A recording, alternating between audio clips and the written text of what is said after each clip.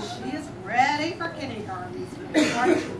And we do journaling. Um, we try to do it once a week. We do journaling, and what journaling is is they draw a picture and they tell us about it. Their, their drawings might not might not look like something that we would do, but it doesn't matter. And she tell these elaborate stories about what's going on. And in her story, she's got a beginning to her story, she's got a middle, and she always has an end. So she's got this great story. So we think she's going to be an author. An author. That's what we think.